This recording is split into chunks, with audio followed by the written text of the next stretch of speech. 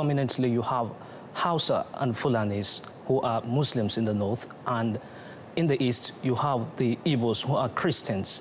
And now the coup ringleaders pretended that the pretext of the coup was to alter, I mean, to eliminate corruption out of the government. However, the Northerners claim that this was an attempt to take away power from them.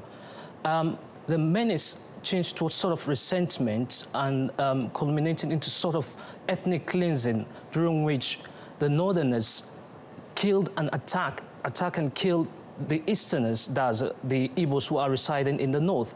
And then the then military governor of the Eastern region, Lieutenant Colonel Odumegwu Ojukwu, think he thought that um, since Nigerian, I mean, as a whole, as a country cannot prevent the lives of the Igbos, then there is a need for a secession state does to declare a Biafra as a republic which will care for the lives of the Igbo, and then that's how the war began.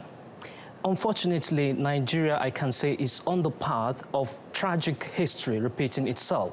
At the moment, we've seen the rise of pro-Biafran movements, such as Movement for Actualization of Sovereign State of Biafra and indige Indigenous People of Biafra. These are groups agitating claiming that they are being alienated, they are being disenfranchised, they are being marginalized, given the fact that the revenue of the country is from their region, and so they are not given the share of the cake as it is supposed to be. And so they are aspiring, outcrying for the government to look into these issues.